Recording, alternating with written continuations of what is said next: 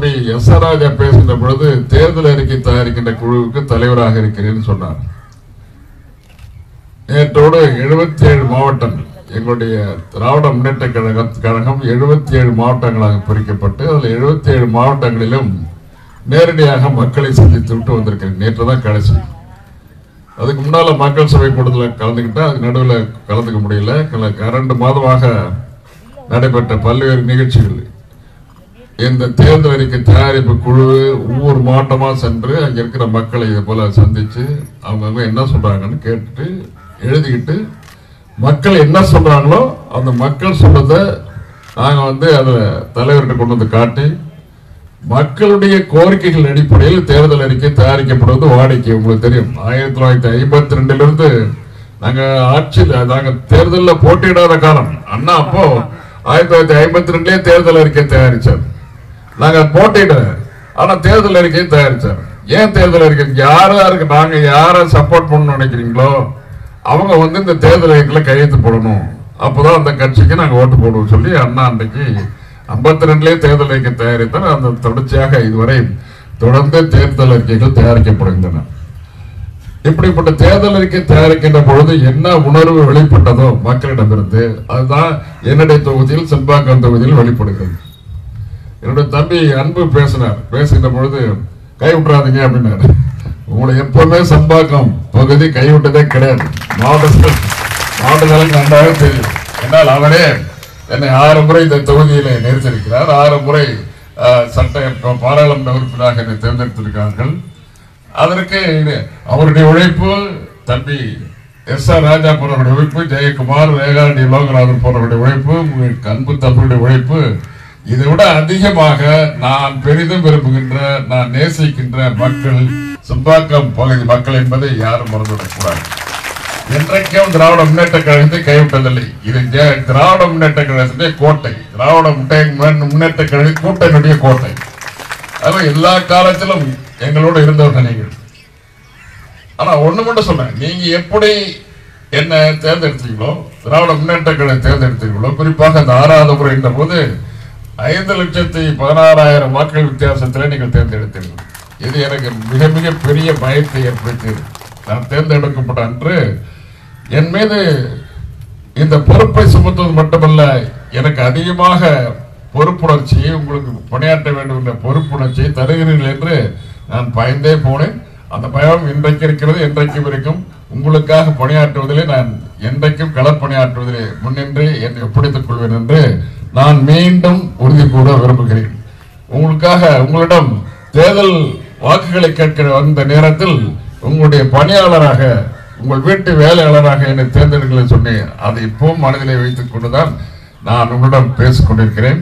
பல நண்பர்கள் இங்கே சொன்னார்கள். பல குறைகளை சொன்னார்கள். அந்த குறைகள் சொன்ன நண்பர்கள் எல்லாம் நேரடியாக வந்து கோரிக்கை மூலம் கொடுத்தாங்களான்னா சில பேர் கொடுக்கல. சொன்னாங்க. ஆனால் அப்படியே விட்டு போட்டாங்க. அது நல்லவாழ்வு சங்கத்தில் இருக்க தோழர்கள்லாம் நேரடியாக வந்து பார்க்கணும். அதுக்கு தான் உங்களை நலவாழ்வு சங்கங்கள் தேர்ந்தெடுக்குது. வந்து சட்டப்பே சட்டப்பேரவை உறுப்பினரை பார்க்கணும். பாராளுமன்ற உறுப்பினரை பார்க்கணும். அங்கே இருக்கிற முன்னணி தோழர்களை பார்க்கணும். அந்த பணி நடைபெறுகின்ற வரை நீங்கள் வந்து பார்த்து போய் போய் கொண்டிருந்தால் நாங்களும் அதிகாரிகளிடம் போது நினைவூட்டி அந்த பிரச்சனை தீர்ப்பதற்கு தயாராக இருக்கிறோம் என்று நான் மீண்டும் உறுதி கூற விரும்புகிறேன். ஒன்று ஞாபகம் வச்சுக்கணும் நீங்கள் எங்களை தேர்ந்தெடுத்த காரணத்தினால் குறிப்பா என்ன தேர்ந்தெடுத்தீங்க? ஆறு முறை தேர்ந்தெடுத்தீங்க. ஒவ்வொரு முறை தேர்ந்தெடுத்த பிறகும் உங்களுக்காக ஆற்றிய பணி கொஞ்சம் நஞ்சம் இல்லை. அது கொஞ்சம் கொஞ்சமாக பணியாற்றினா அதிகமாக பணியாற்றினா தம்பட்டை உடைத்துக் கொள்ள தயாராக இல்லை. நீங்கள் எண்ணி பாருங்கள் இந்த ஊரை இந்த ஊருடைய நிலம் எப்படி விலை ஏறி போனது? இந்த ஊரில் ஒரு கிரவுண்டு நிலம் இருபது வருஷத்துக்கு முன்னால் என்ன இருந்தது இப்போ என்ன இருக்குது?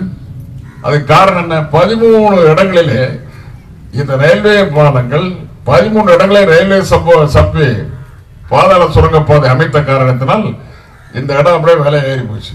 ஒவ்வொருத்தரும் பெரிய பெரிய பணக்காரங்கள் ஆனது ஏழைகள்லாம் பணக்காரங்க ஆனாங்க. இது பெரிய மாற்றம் பொருளாதாரத்தில் ஏற்பட்ட மாற்றம்.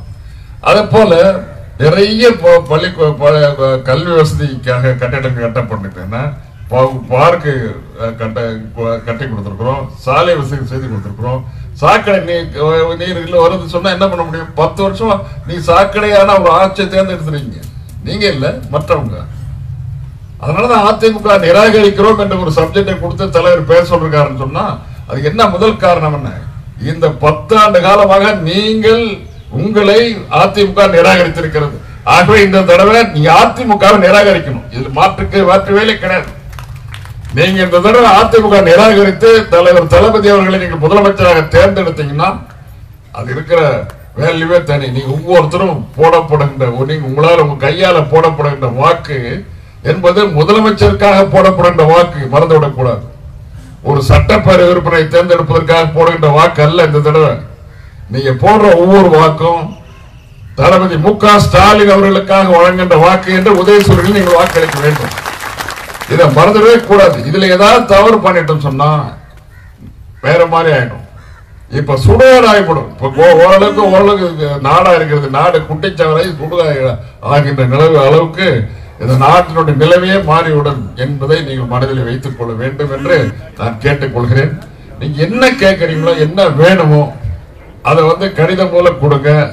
தம்பி ராஜா கிட்ட கொடுங்க தம்பி அன்பு கிட்ட கொடுங்க எங்க நிர்வாகிகள் யார்கிட்ட வேணாலும் கொடுங்க. என்ன நேரம் நீங்க பாருங்க முன்னால் நீங்க அவ்வளவு தூரம் மாம்பழம் வரைக்கும் நீ வர வேண்டியது. உங்களுக்காக அலுவலகம் இப்போ தாம்பரத்திலே திறந்தாச்சு.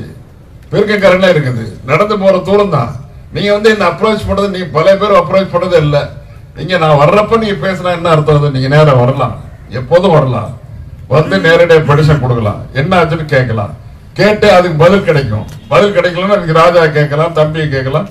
எந்த எந்த பெட்டிஷனை கொடுத்தாலும் டெல்லியில் இருந்தாலும் சரி சென்னையில் இருந்தாலும் சரி தாம்பரத்தில் இருந்தாலும் சரி உங்களுடைய கோரிக்கை மனுக்கள் எப்போதும் நாங்கள் நிராகரிப்பதில்லை. ஆனால் நிராகரிக்க வேண்டிய அதிமுக அரசு இன்றைக்கு நீண்டு கொண்டே போனால் மொத்த ஒட்டுமொத்தமாக மக்கள் நிராகரிக்கப்படுவார்கள். இது நல்லா புரிஞ்சுக்கணும் நீங்க. ஆகவே உங்களை வந்து அலர்ட் பண்றது உங்களுக்கு வந்து விழிப்புணர்ச்சி விழிப்புணர்ச்சி ஏற்படுத்துவது எங்களுடைய கடமை. இந்த விழிப்புணர்ச்சி ஏற்படுத்துவதற்காகவே விழிப்பூட்டுவதற்காகவே நாங்கள் இந்த மக்கள் சபை கூட்டத்தை பன்னெண்டாயிரத்தி இரநூறு கிராமம் இருக்குது. இப்போ பதினாறாயிரத்தி மேலே இருபதாயிரத்துக்கு தாண்டிடுச்சு. இருபதாயிரம் இடத்துல மக்கள் சபை கூட்டம் நடத்துறது இது போல பெண்கள் எங்கே போனாலும் நேற்று பார்த்தீங்கன்னா நாமக்கல்ல பார்த்தீங்கன்னா தலைவர் பேசுறாரு. தலைவர் நின்று பேசுறாரு. அது ஒரு ரெண்டு கிலோமீட்டர் தூரத்தில் பெண்கள் நிரம்பி வழிகிறாங்க ஆக பெண்கள் வந்து இப்ப அடுத்த ஐந்தாண்டுக்கு நீங்கள் தேர்ந்தெடுக்க வேண்டிய ஆட்சி அன்பு தலைவர் தலைவர் தளபதி அவர்களுடைய ஆட்சி உதயசூரிய ஆட்சி